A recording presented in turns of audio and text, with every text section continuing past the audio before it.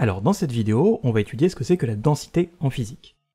Puisque à partir de la petite énigme qu'on connaît un peu tous, qu'est-ce qui pèse le plus lourd, une tonne de briques ou une tonne de plumes?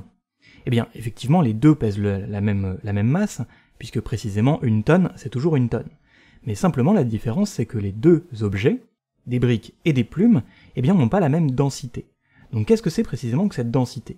Eh bien la densité, c'est la masse d'un objet divisé par le volume. Donc la densité, la densité qu'on écrit ρ, donc attention, c'est pas un petit p, c'est la lettre grecque ρ, eh bien c'est défini comme étant la masse divisée par le volume.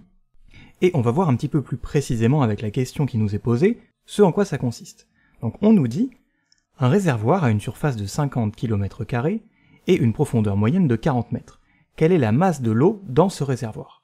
Donc ici, ce qui nous intéresse, c'est pas directement la densité, c'est la masse, on va donc devoir isoler la masse, la faire passer de l'autre côté du signe égal, ce qui va nous donner la masse, c'est égal à la densité multipliée par le volume, puisque vous voyez le volume était dans le dénominateur, on le fait passer de l'autre côté de l'égal, ça devient donc une multiplication, c'est bien donc ρ multiplié par V, on va calculer le volume qui est défini comme la base multipliée par la hauteur, donc V c'est égal à 50 km carré.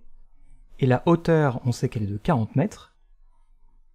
Donc on va tout calculer en mètres, ça va nous donner 50 multiplié par 10 puissance 3 mètres multiplié par 40 mètres. Et on n'oublie pas de tout mettre au carré puisqu'il s'agissait de kilomètres carrés ce qui nous donne donc 2 par 10 puissance 9, et on a bien une unité de volume qui est des mètres cubes, puisqu'on a des mètres au carré multipliés par des mètres. Donc notre volume, il est de 2 par 10 puissance 9 mètres cubes. Alors on a notre volume, il nous manque notre densité. Donc la densité de l'eau, c'est quelque chose à savoir, puisque c'est quelque chose qui est assez souvent utilisé, et la densité de l'eau, elle est de 1000 kg par mètre cube. Donc si on prend un mètre cube d'eau, eh bien on sait que ce mètre cube, il va peser une tonne. Il nous reste plus qu'à faire la multiplication, maintenant qu'on a nos deux variables, ça nous donne donc 1000 kg par mètre cube,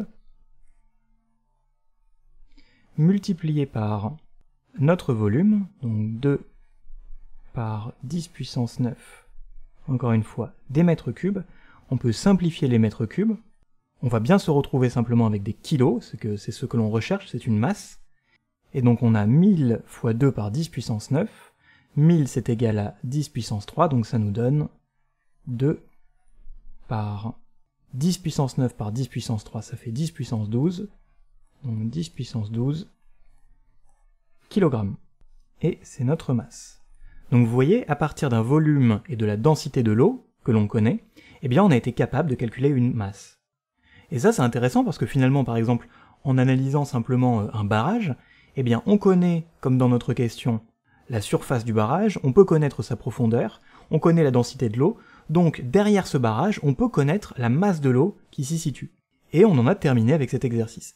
Donc j'espère que ça aura pu vous aider à un petit peu mieux comprendre la densité, dans les prochaines vidéos, on continuera euh, de s'entraîner justement à cette notion, mais en attendant, si ça vous a intéressé, n'hésitez pas à laisser un j'aime et à vous abonner, et puis on se voit dans une prochaine vidéo.